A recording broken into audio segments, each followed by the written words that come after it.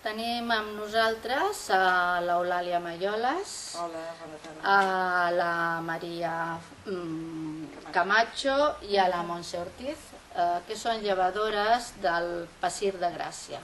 El Passir vol dir Programa d'Atenció eh, a, a, la salut sexual i reproductiva. Eh, s'est- S'estan, eh, la seva seu és al CAP de Pare Claret, i bé, conformen, um, són col·laboradores del Passir de Gràcia. Eh, ens parlaran d'un dels aspectes del seu treball eh, del dia a dia, que és la participació de la parella de, dels homes en el procés de maternitat-paternitat.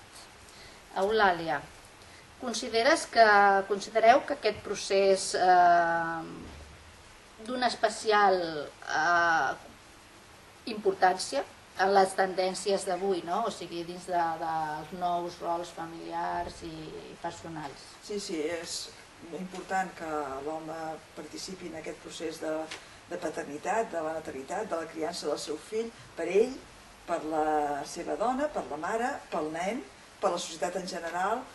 Hi ha estudis que comproven, corroboren de que com més està implicat amb això l'home, doncs també hi ha menys violència de gènere i, i afavoreix el vincle entre ell i els, la família, eh? i el seu fill i la seva dona. Uh, Montse, anem a veure, uh, uh, per què parlem tant d'una cosa que en principi hauria de ser una cosa natural? Bé, eh, fins ara els models del que havia de ser un pare era bàsicament la, en la nostra societat occidental era el que manté la família, el que porta els diners i com a molt el que exerceix una mica de l'autoritat.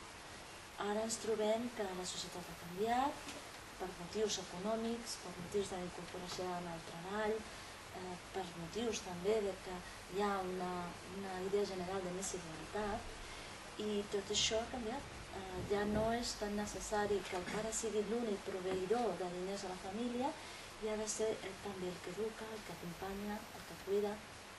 El motiu, bàsicament, és que fins ara havia uns models socials molt rígids i que de mica en mica això ha canviat.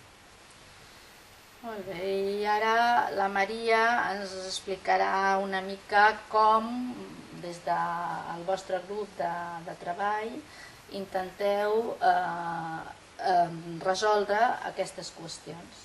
Bueno, intentamos ayudarles eh, en un espacio cre- que creemos que o sea, en las consultas cuando vienen, en las visitas del embarazo, eh, a lo largo de todo el proceso del embarazo, en las clases de educación para el nacimiento y en los grupos de posparto. Se intenta crear un clima agradable que favorezca la comunicación y la confianza y que ellos puedan transmitirnos sus, bueno, sus expectativas, sus miedos o sus preguntas del embarazo o de la anticoncepción o de mm, cualquier cosa, cualquier duda que, que, que tenga, se tenga en torno a la pareja o en torno al nacimiento del bebé. Molt bé, des de Gràcia Mont volem eh, donar les gràcies a les eh, llevadores del Passir per la seva col·laboració de cara a facilitar aquest servei i aquesta informació als nostres espectadors i espectadores.